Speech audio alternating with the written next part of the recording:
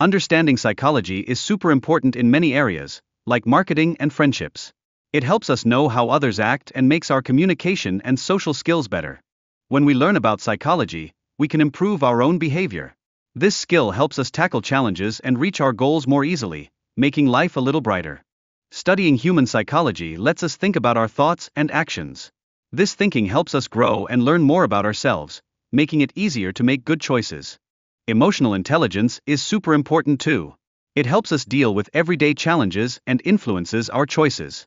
Mastering it can make our lives happier and more fulfilling. It's really important to control our emotions. This control brings calmness and clarity to our lives.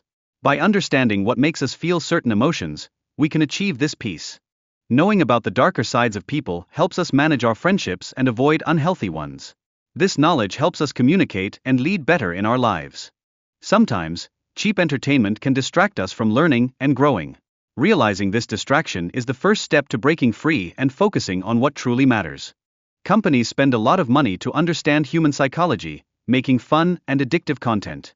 This keeps us interested in silly things instead of learning something meaningful. It's essential to develop our thinking and ask questions. Learning about deep topics like philosophy and psychology can help us grow and transform ourselves.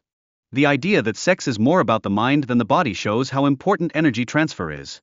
Understanding this can lead to big personal growth and success in our lives.